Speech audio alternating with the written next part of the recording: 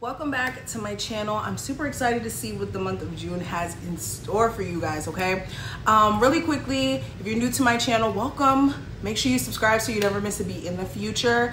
Also, if you want a personal reading with me, my website information will be linked below.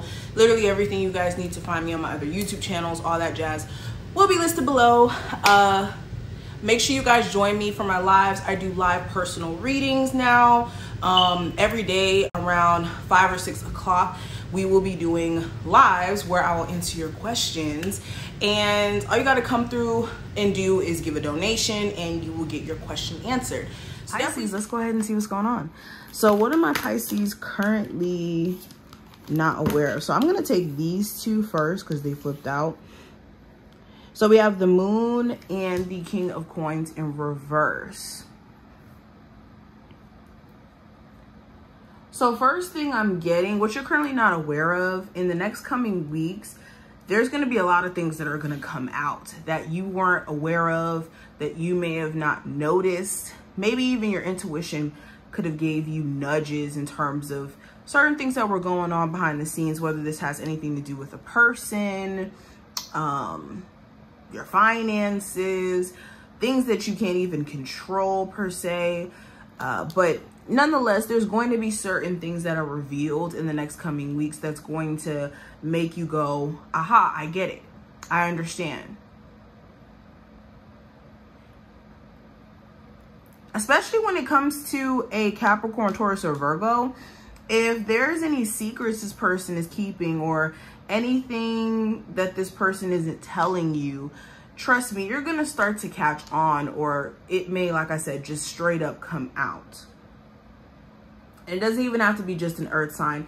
It's someone here in particular where you've been noticing their actions haven't been really aligning with the things that they've been telling you. They could be telling you, oh, I want to be in a serious relationship or I see myself being with you on a serious level. But then when it comes to those type of conversations or actually doing it, this person could be doing the opposite almost. Some of you guys are also going to start to see where your money problems are coming from. And it could have been things that you already knew about your finances. Like maybe you're spending your money on the wrong things. Or maybe it's time for you guys to, to go after a new way to make money or a higher position in whatever you're doing. But you guys are really going to have an epiphany in terms of your finances in the near future and this is going to change the game completely.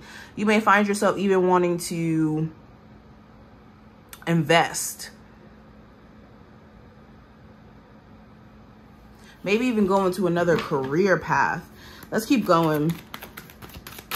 Also, if there's some of you guys are going to go to the doctor in the next coming weeks and find out that there could be a certain health issue you need to pay closer attention to. So if you've been noticing that something's been up with your health or certain things have been up just in general with you, you go to the doctor and and they actually tell you that there's something that you guys need to be more so aware of in terms of your health. Now I have the Ace of Spears, the Devil card, and I also have the Ace of Coins. So what you're currently not aware of, the source of why you guys haven't been feeling as motivated or as driven could have something to do with either some sort of substance abuse issue some of you guys may be struggling with. Um, this could be a toxic relationship some of you guys are in where you're unmotivated because your relationship is constantly on your mind. You trying to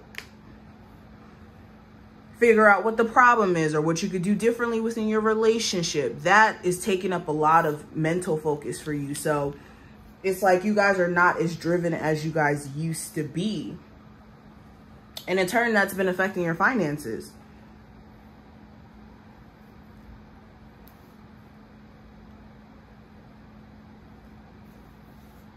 Another thing that you may not be aware of right now, Pisces, you guys could have a Capricorn, Taurus, or Virgo around you where their base, their basis in them dealing with you or being around you could be more sexual in nature. Or for them, it was always supposed to just be like a sexual thing. And then it just became a situation where they just like attached themselves to you thereafter. So some of you guys could have like more of a sexual tie to someone than a tie that's based off of love. Okay, I got the Queen of Swords in reverse and the King of Swords. So we have a pairing. So yeah, somebody in your relationship is not being honest or isn't being all the way real about what's on their mind or or what they want truly from the connection itself. And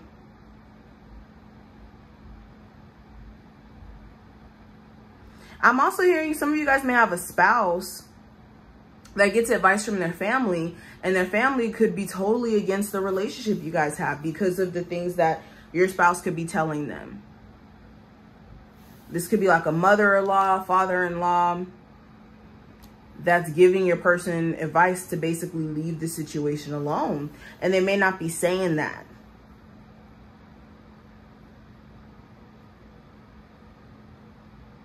Another thing you currently may not be aware of, you guys could have a roommate or someone you live with who's not being all the way honest with you about their financial situation. And because of that, uh, this could be causing them to be behind on bills or not on top of their end of the responsibilities. So that could be why you're noticing that certain bills are not getting paid on time or they're even coming to ask you to borrow money and, and things like that. It could be because this person is going through some sort of financial struggle.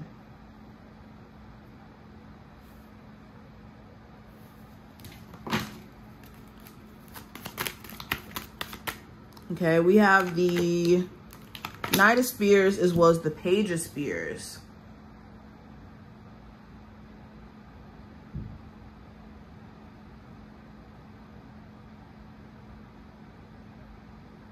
Hmm.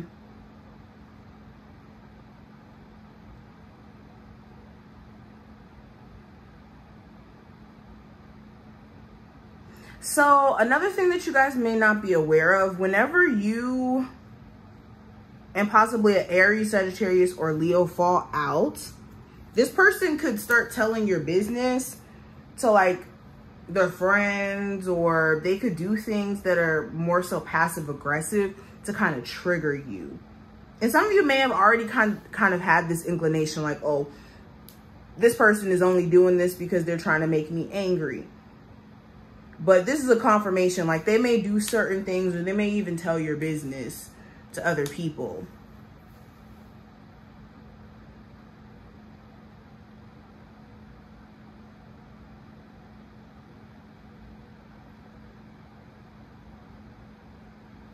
Hmm. Hold on, I want to clarify this card. Why is this here?